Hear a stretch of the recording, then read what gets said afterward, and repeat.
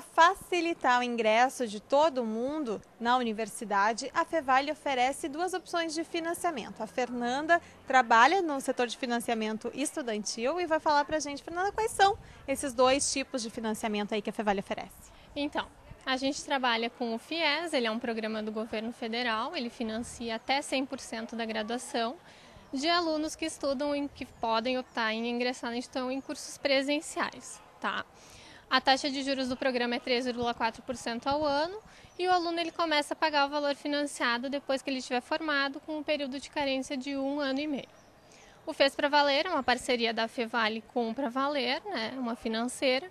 O aluno consegue financiar 50% da graduação e ele tem o dobro do tempo para fazer o pagamento, sem incidir juros, somente a correção do crédito da Fevale. Isso é uma dúvida que as pessoas têm bastante. O financiamento sem juros. O FIES já tem uma taxa muito pequena, que é, é uma taxa anual de 3,4%.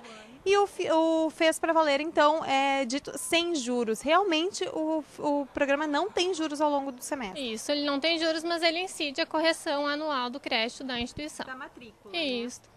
E para saber mais sobre esses, essas formas de financiamento, as pessoas podem entrar em contato. Existe um setor específico aqui na universidade? Sim, os alunos que tiverem interesse em contratar uma das opções de financiamento, eles podem entrar em contato com o setor de financiamento estudantil. Uh, a sala fica localizada aqui no prédio Lilás, né, no térreo. Podem nos contatar através do telefone também, o 3586-8800, ramal 8750. E o Fez Pra Valer, eles têm atendimento específico também no prédio Rosa, no segundo andar. Certo, Fernanda. Muito obrigada então pelas tuas informações. E aí, gente, não tem desculpa realmente para não entrar na universidade, não conquistar aí ah, o sonho do diploma, não é mesmo?